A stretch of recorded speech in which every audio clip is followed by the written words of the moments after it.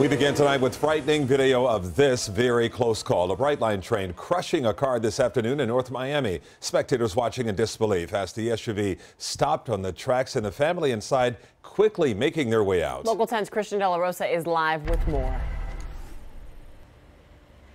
This disaster happened right across the street from a car dealership where people pulled out their phones to record the inevitable and one family's close call.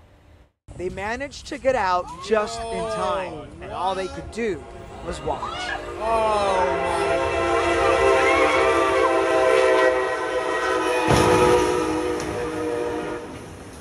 The explosive crash happened around 5 Thursday afternoon on Northeast 141st Street in Biscayne in North Miami.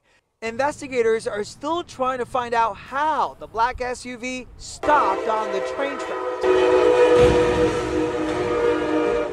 It was just earlier this week we reported how Brightline got $25 million in taxpayer money to pay for safety improvements with the goal of stopping or preventing what's become a growing list of train versus vehicle collisions, many of them deadly. This man telling Local 10 News off camera it was his wife and their children who were in the vehicle, but he could not tell us why or how they ended up where they weren't supposed to. Maybe she was like rushing. Fortunately, the entire family managed to exit the Nissan Pathfinder alive and without injury. I thought somebody got hit. In fact, no one else was hurt, even though the impact also sent car parts and debris flying.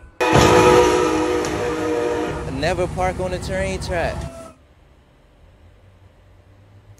So I reached out to Brightline officials to find out if this particular intersection has already seen some of those security enhancements. Brightline officials have yet to get back to us. Lover North Miami. I'm Christian De La Rosa, Local 10 Okay, we'll stay tuned. Thanks, Christian. Right